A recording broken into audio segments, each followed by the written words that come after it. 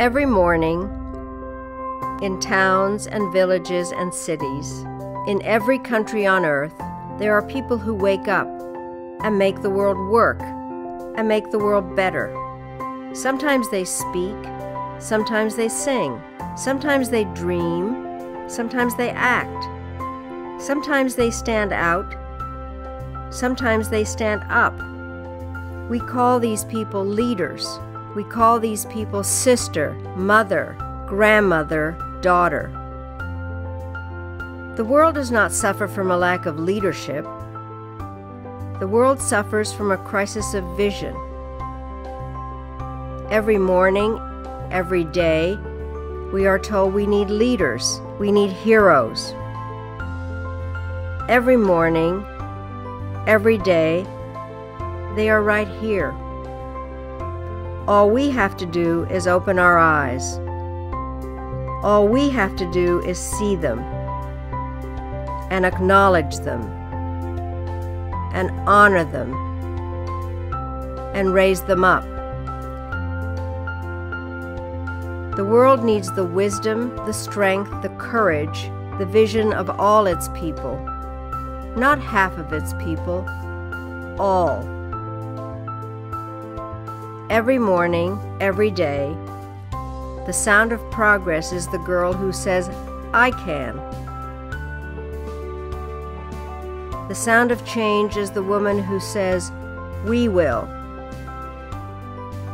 The sound of our future is the sound of millions of women saying, We are here.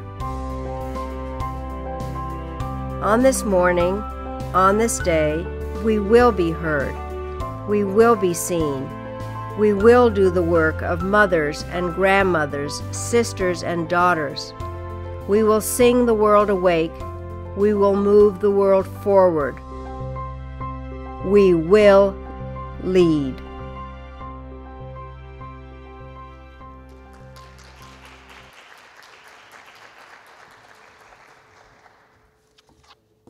Do you know what happens when African women from the North, the South, the East, and the West come together in one place?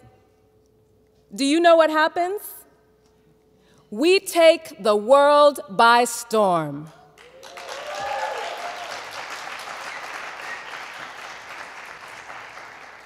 It is as though the universe knew that we were coming here and wanted to give us a grand entrance. The sun, the rain, the snow, the wind came together to welcome us to this place. Why? Because we take the world by storm. It is my honor to welcome you to this place for the African Women's Leadership Conference, a partnership between MasterCard Foundation and Wellesley College. We hope that during this time that you will enjoy yourself, that you will build great relationships, that you will meet new people, and that you will learn how to strengthen yourself so that you can move the world forward and take the world by storm. It is my great pleasure now to welcome you to listen to one of the MasterCard Foundation scholars. Her name is Sandra Ahiming, and she is a sophomore. Sandra is the Scholars Council representative for Wellesley College, and it is my honor to present her to you. And as Sandra is coming to the stage, I also want to let you know that our MC, Ms. Joey Cole, is on her way here. She is taking the storm in stride and coming here so that she can join us. Nothing is going to stop her from making it here today. And so please join me in welcoming to the stage Sandra Ahiming.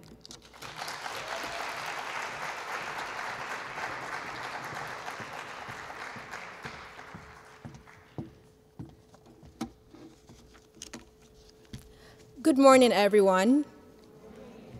My name is Sandra Ohimen Amponza. I am a sophomore from Ghana, and I am the scholars representative here at Wellesley College.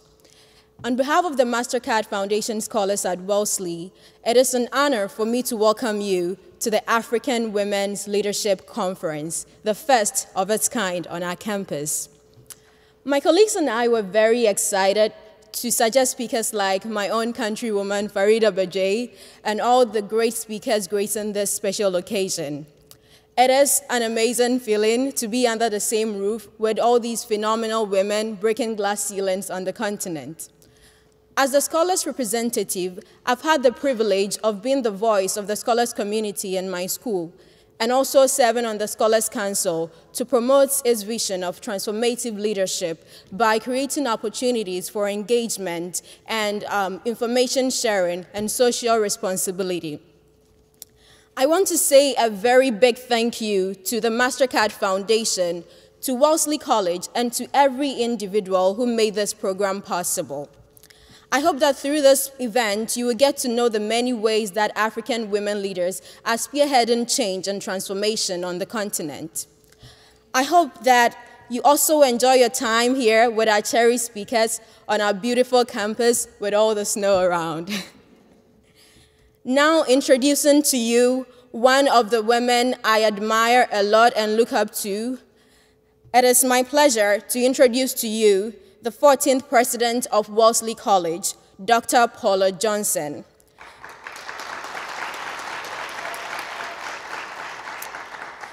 President Johnson is recognized internationally as an innovator who has brought her broad range of experience as a researcher, educator, and expert in healthcare, public health, and health policy to bear in the effort to advance the well-being of women.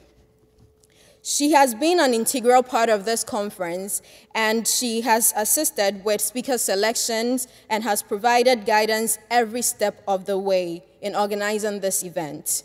Ladies and gentlemen, I present to you my president, Dr. Paula Johnson.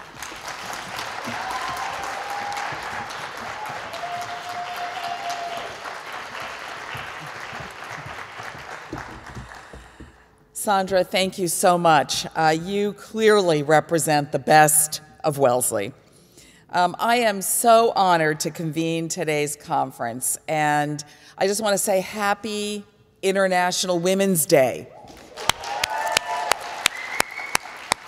Um, you've braved the snow, and we are just thrilled to see you here. Um, I want to welcome distinguished guests from across the African continent including our esteemed speakers, our expert moderators and facilitators, and of course, all of you, the participants. It's a privilege to host this first of a kind conference in the United States, and I extend greetings on behalf of the entire Wellesley community. I want to offer a special word of thanks to Sandra Ohimen Amponsa, who you just met, and all of our MasterCard Foundation scholars, especially those who are co-facilitators and all those who are working and volunteering in many other ways. At Wellesley, we have the good fortune to be joined by 14 current MasterCard scholars representing eight countries across Africa. These scholars' voices, their perspectives, and ideas contribute greatly to our learning environment and enrich our community. I want to express our deep gratitude to our partner in organizing this conference, the extraordinary team at the MasterCard Foundation Scholars Program, especially Reeta Roy, President and CEO of the MasterCard Foundation, Foundation and joining us today, Ann Miles, who I think is on her way, uh, Director of Thought Leadership and Innovation, Shona uh, Bezanson, um, Senior Program Manager for Education and Learning, and Karen Meyer, Associate Program Manager for Education and Learning, and Ivy Mawai, Program Manager.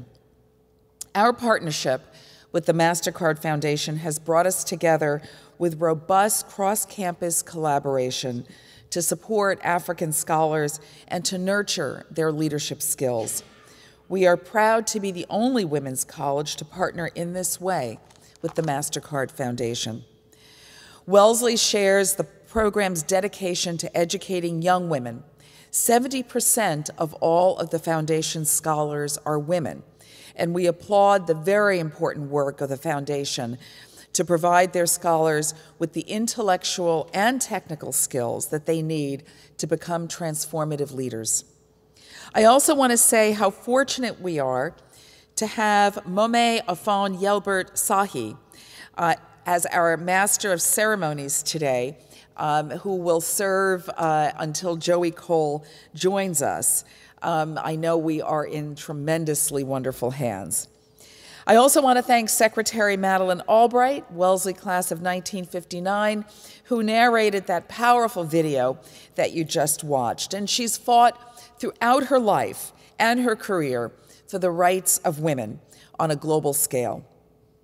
Secretary Albright's support of the college and for our students has always been so important. She is truly beloved, and we are so lucky and so honored to have her lend her voice, quite literally, as we begin this important conference.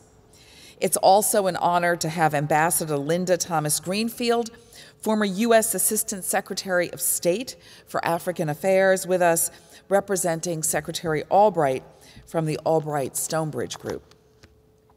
And thank you to Hunja Laskin Kenner, class of 1988, and her husband Jeffrey Kenner. Hunja and Jeffrey, your generosity has contributed to making this conference truly special, and I know we will await the Kenner Lecture, uh, which is going to be given by President Ellen Johnson Sirleaf with great anticipation, and we keep our fingers crossed for her arrival today in the snow. Um, and finally, I want to thank Karen Zafanti Pabon, Director of Wellesley College's Slater International Center, and Elizabeth Siwo, MasterCard Foundation Scholars Program Coordinator, for their tireless efforts and their leadership. You and your team have brought us all together here uh, together today, and you have helped make this historic conference a reality. So please help me thank Karen and Elizabeth.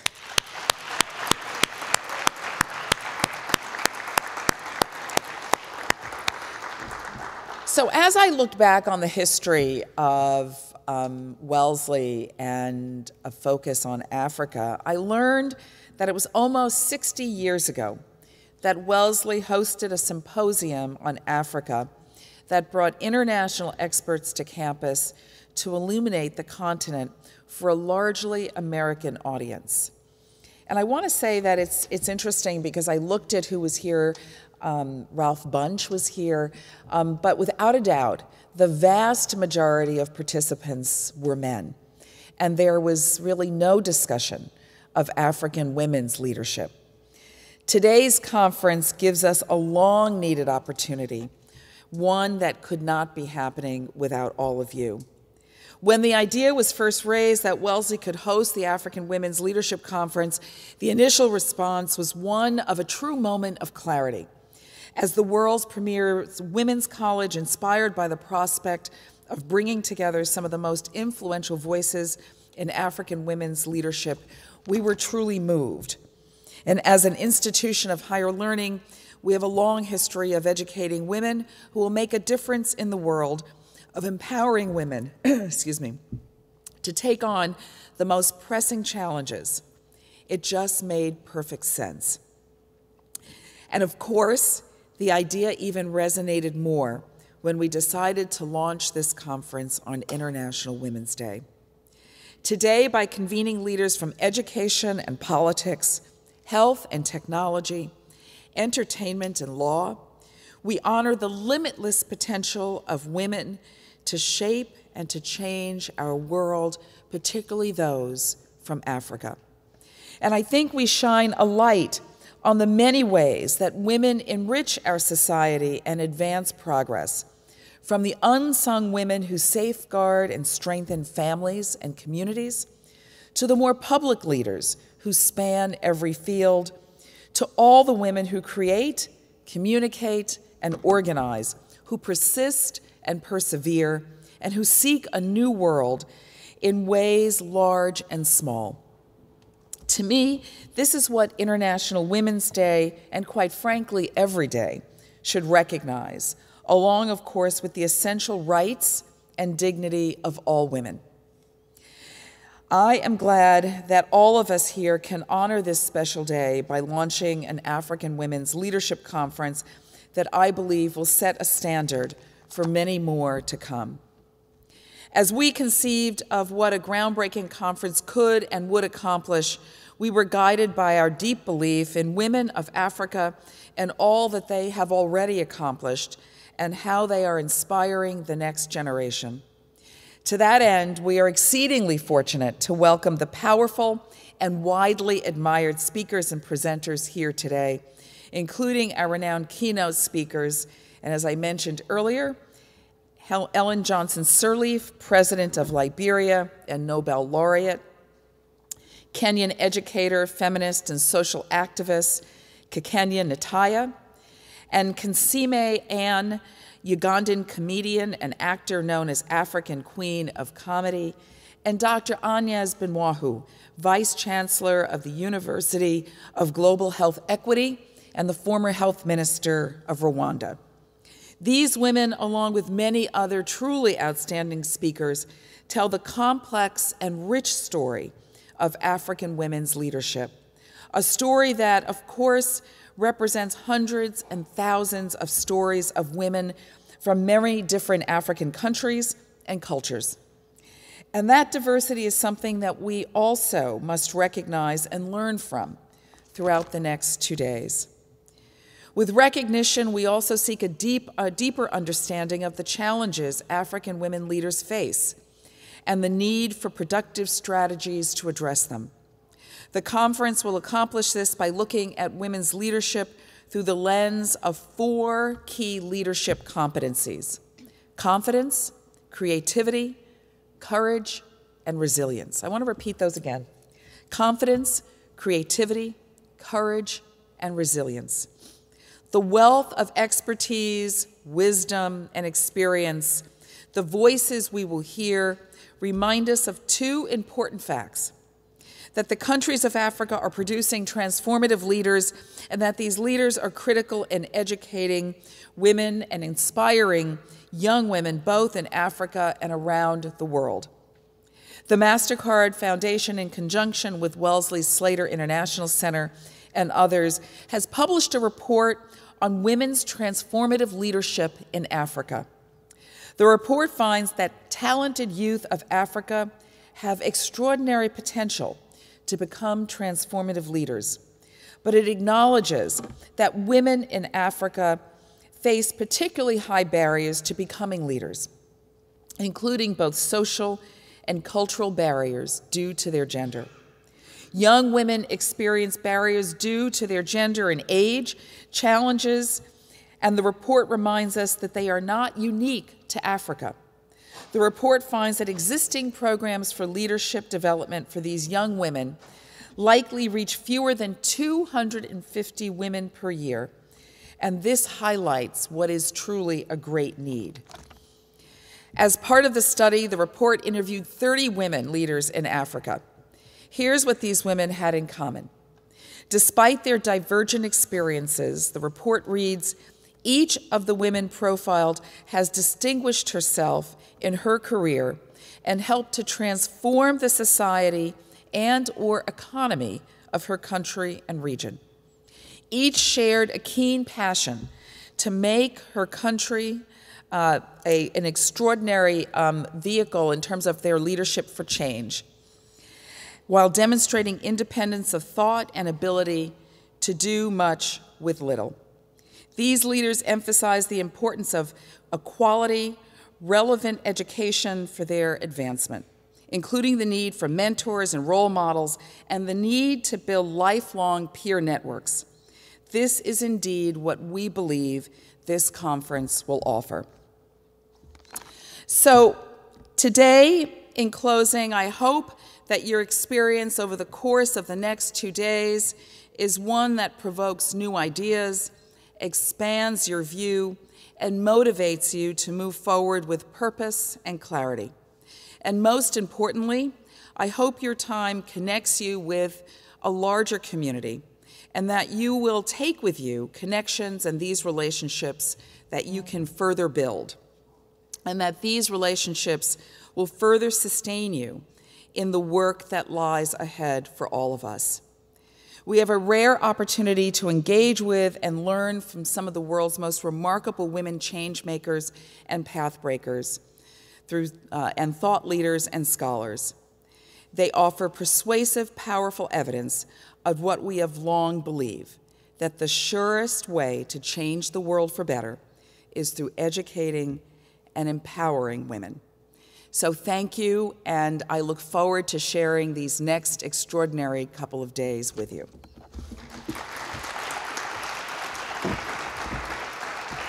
We will now have um, the dancers and musicians from our student performance group, Yanvalou. And we are so proud, um, Yanvalou, to have you take part in today's program.